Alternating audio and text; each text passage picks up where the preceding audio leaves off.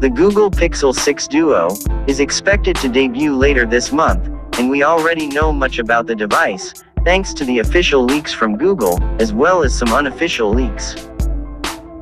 Now today, full specifications of Pixel 6 series appeared in Weibo, revealing everything we need to know about the upcoming Google flagship.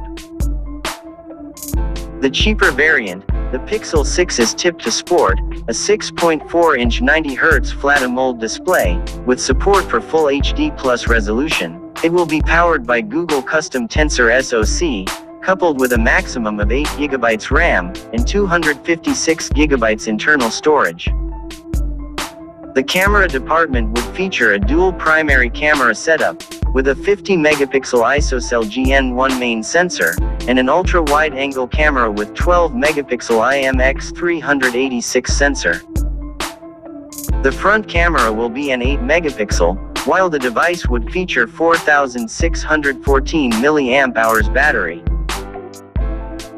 The Pixel 6 Pro is tipped to sport a 6.71-inch 120Hz curved AMOLED display, with QHD Plus resolution. It will also be powered by Google Custom Tensor SoC, coupled with a maximum of 12GB RAM, and 512GB internal storage. At its rear, there will be three cameras, with an additional 48 megapixel 4x zoom camera, apart from the 50 megapixel and 12 megapixel sensors on the vanilla Pixel 6. The front of the phone will be in 12 megapixel sensor, while the device would feature 5000 mAh battery.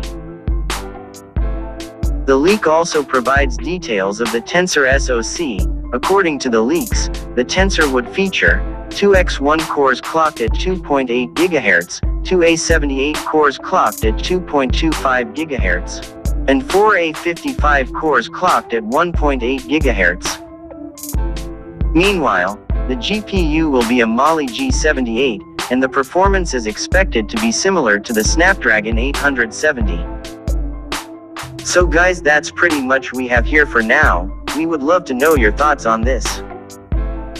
Hope you enjoyed the video and found it informative, and if you did, hit the like button and stay subscribed for more.